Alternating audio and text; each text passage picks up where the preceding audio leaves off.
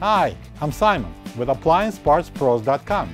Today we're going to show you how to repair your appliance. Are you ready?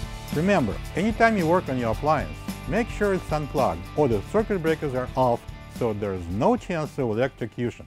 In this video, we'll show you how to replace the freezer door gasket in a Frigidaire refrigerator. It's going to be a very easy repair, should only take a few minutes to show you how to do it. For this job, we're going to need a flathead screwdriver and a plastic hammer. When you open up the package, you're going to get a new freezer door gasket. The freezer door gasket provides the airtight seal for the freezer compartment. The main reason why the freezer door gasket would need to be replaced is if it gets torn, allowing warm air inside the freezer, causing ice buildup around the door and loss of temperature.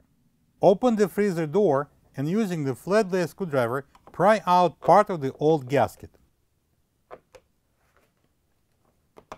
Pull out the rest of the gasket.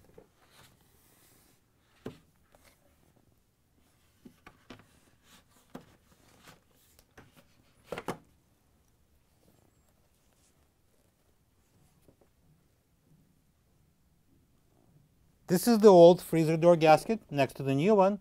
If you don't have this part, you can get it from appliancepartspros.com.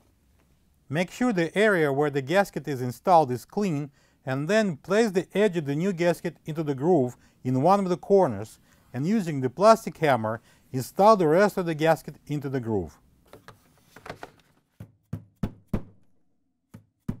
Close the door and check if there are no gaps between the gasket and the cabinet. plug the fridge back in and enjoy an ice-cold drink. Thank you for being a part of another successful repair brought to you by AppliancePartsPros.com. For any of your future appliance repair projects, please check out our other repair videos available on our site, on Facebook, and on YouTube.